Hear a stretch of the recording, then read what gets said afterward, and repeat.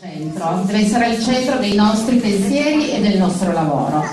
La prima cosa che facciamo è pensare alla famiglia, perché la famiglia è quella che starà di più con lui, quindi dobbiamo capire la famiglia eh, che tipo di approccio vuole avere con noi, se si vuole abbandonare a noi o se vuole collaborare con noi.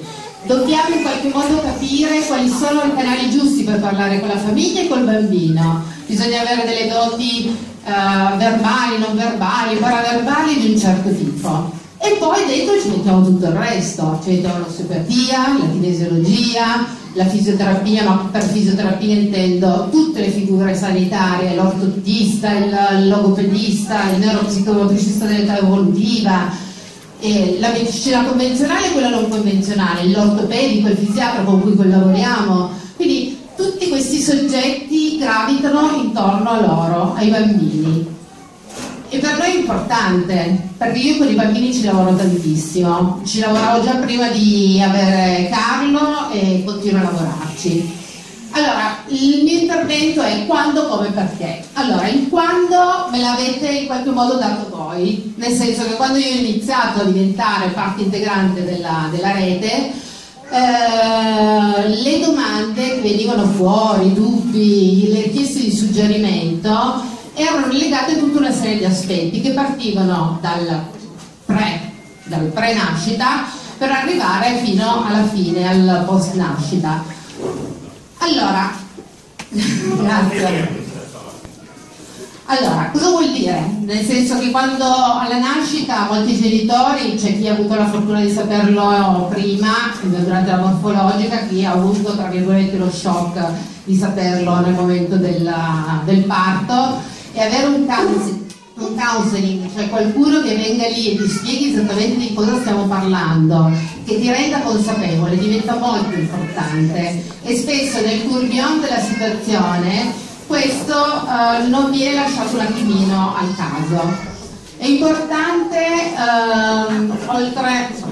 passo di qua, importante magari durante i gessetti, l'utilizzo dei gessetti, perché molti di voi ad esempio hanno descritto aumento di coliche, difficoltà uh, del bambino nei movimenti, eccetera, eccetera, eccetera. Allora il riabilitatore vi può spiegare alcune cose o può aiutarvi vi può aiutare con l'osteopatia, vi può aiutare col massaggio perché vi insegna a fare alcune tecniche per migliorare le coliche gassose, perché il bambino, secondo voi perché sgambetta da piccolo? Solo esclusivamente perché ha un piacere di eh, diciamo, provare? È un meccanismo che è necessario anche per mantenere attivi certi tipi di sistemi, tipo quello eh, digerente, quindi l'avere il gessetto in qualche modo limita in alcuni bambini, non in tutti, può portare questo problema, cioè aumento delle coliche. Cosa può fare un genitore? Può imparare a massaggiare il bambino, può, può imparare delle tecniche che possono in qualche modo ridurre queste sensazioni.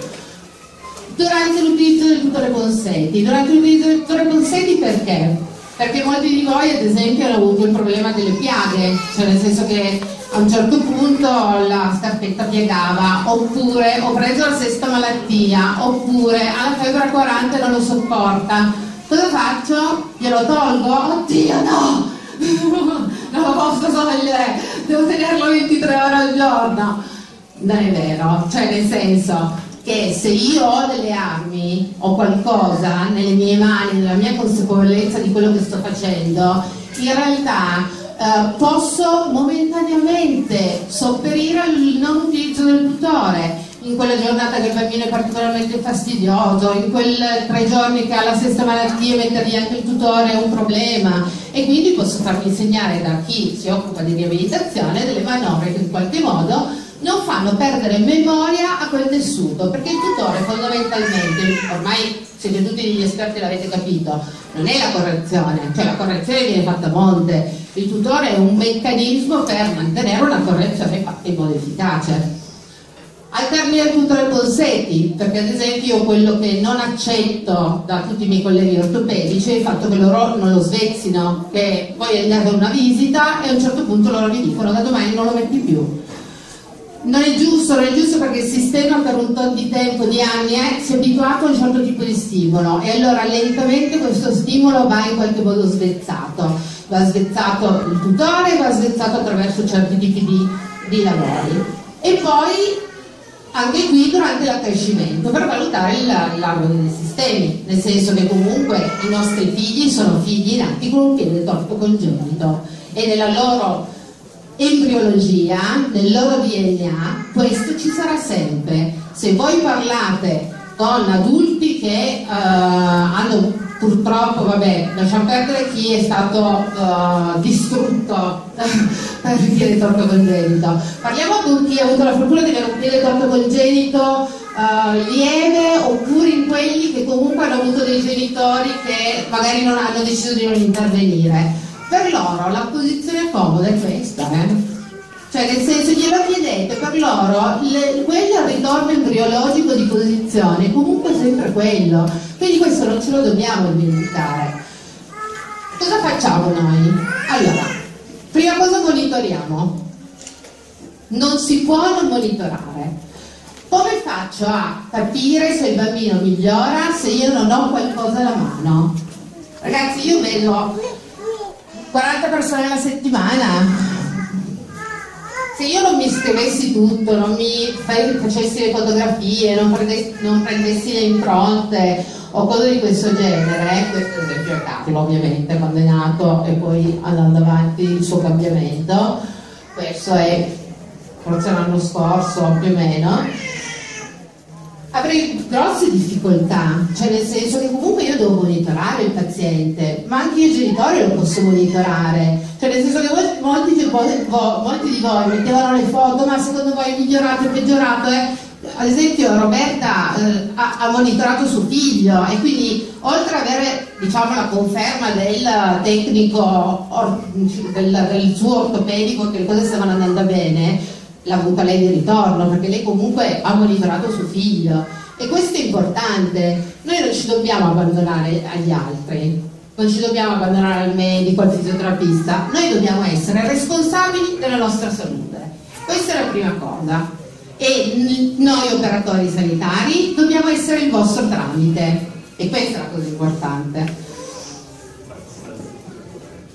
Massaggio, counseling, aquaticità, vendaggio funzionale, osteopatia, allora tutte queste bellissime cose. Uh, tutto ciò che è possibile fare attraverso uh, le mani, uh, attraverso l'utilizzo di alcuni tipi di ambienti tipo l'acqua, quello che è possibile fare di facilitazione, il vendaggio funzionale drink up in alcune situazioni può essere una facilitazione, quindi può aiutare comunque il, eh, il bambino ad avere un tipo di uh, spinte in più, nel senso che i bambini hanno delle spinte di accrescimento, a un certo punto questa spinta di accrescimento si rallenta, poi di nuovo riparte e in alcuni momenti avere questo aspetto che in qualche modo è incisivo diventa importante.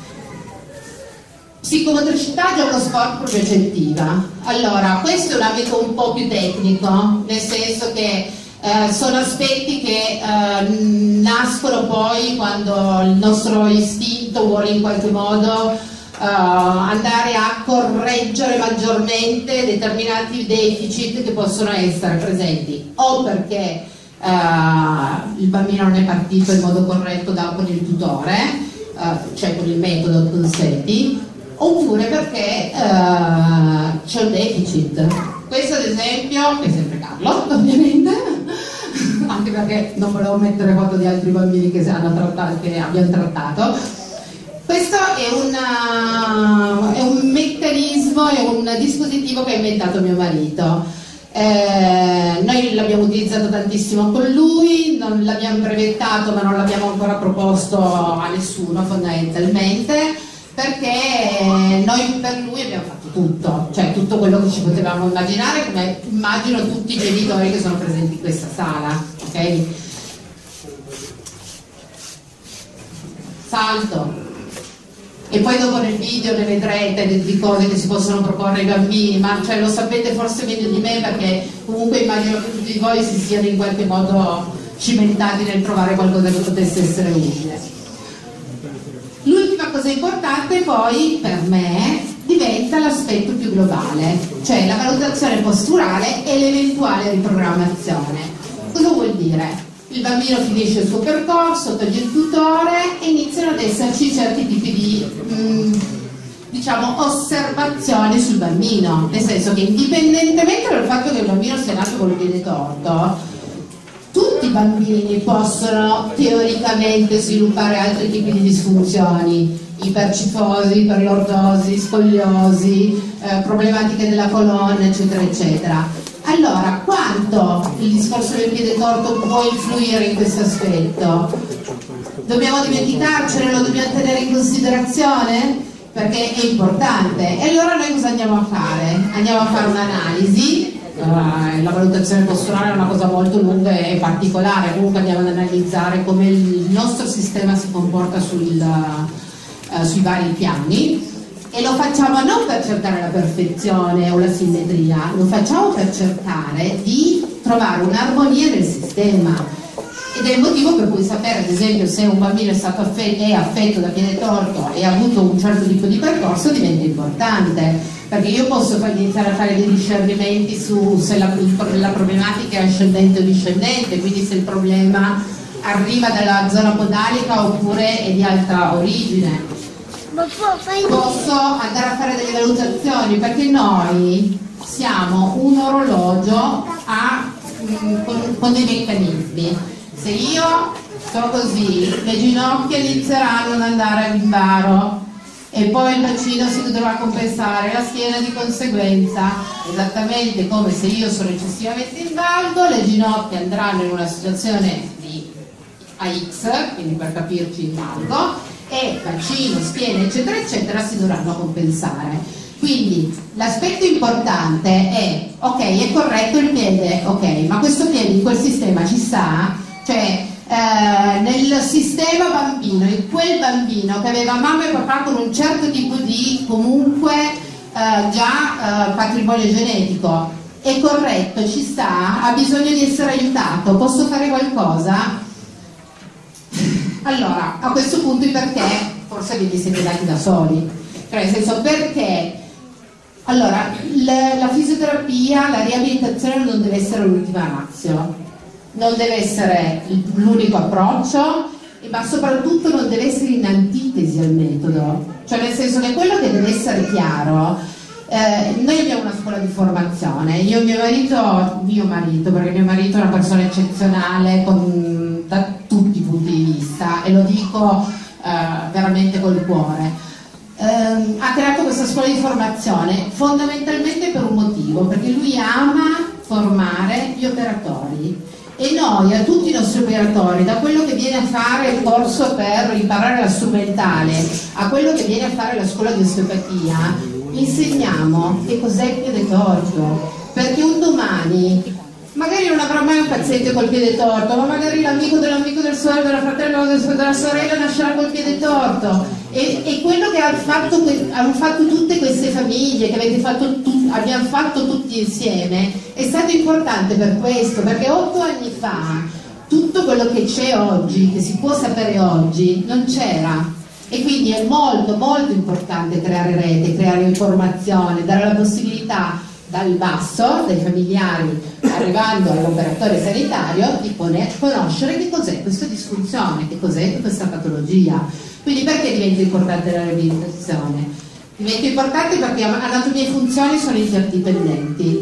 Io posso correggere l'anatomia del piede, ma la funzione è altrettanto importante e se la funzione non va bene, nella fase di accrescimento successiva, quindi dopo i sei anni, se tutto lo togliamo ai sei anni, l'anatomia può di nuovo cambiare. Non tornerà il piede torto magari, però le spinte sulle ossa che ancora, hanno ancora delle cartilagini di accrescimento hanno bisogno comunque di eh, essere tenute sotto controllo. Ogni tipo di tutore crea un deficit non c'è un tutore il tutore perfetto, ok?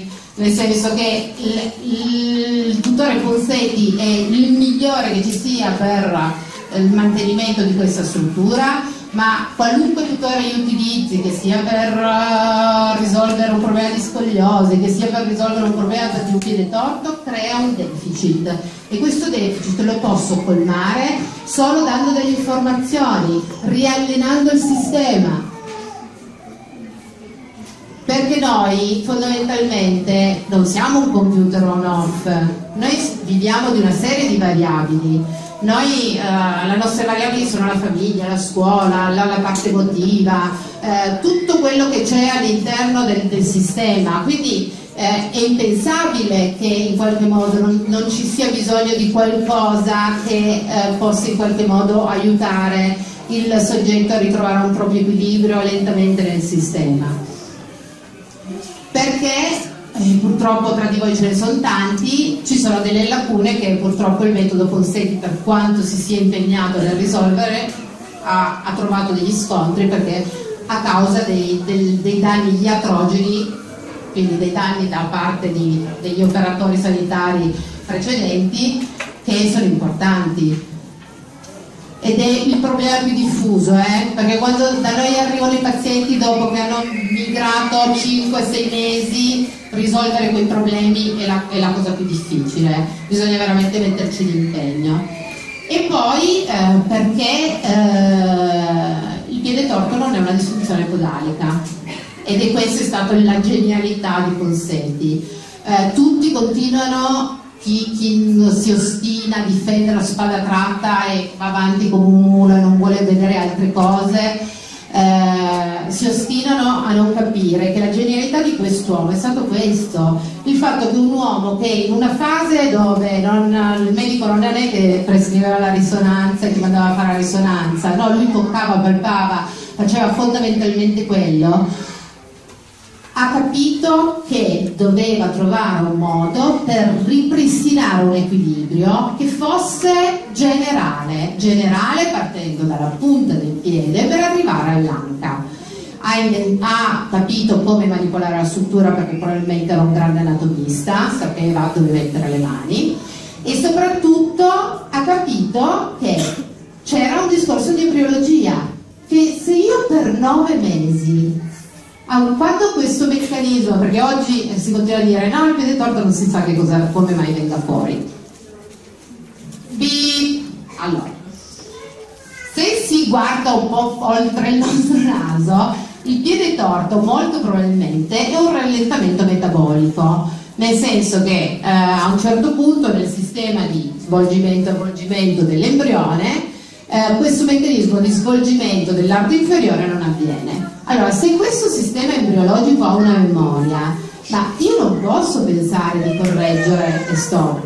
E lui in questo, forse anche non sapendolo, ma nel suo forse amore, genialità del, del, del, della, uh, del lavoro che faceva, eh, della purezza probabilmente con cui lo faceva, è riuscito a capirlo, a capire che c'era bisogno del tutore, che c'era bisogno di mantenere un certo tipo di appoggio, eccetera. Mio figlio non ha fatto i gesti, io ho, di fatto non ho fatto il metodo Conselli come lo può aver fatto qualcuno che ha iniziato il primo giorno con, con uno dei tanti medici che grazie a Dio hanno deciso di fare questo percorso.